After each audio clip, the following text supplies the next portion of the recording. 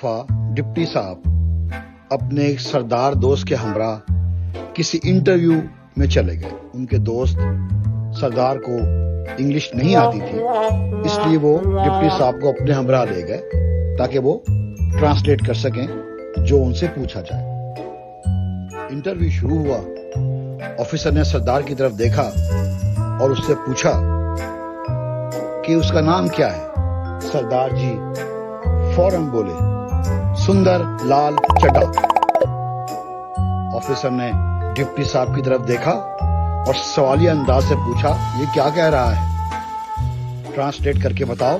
Deputy साहब ने थोड़ी देर सोचा, अपने दोस्त की तरफ़ देखा और फिर ऑफिसर को देखकर बोले his name is beautiful red underwear सुंदर, लाल चड्डा 바이.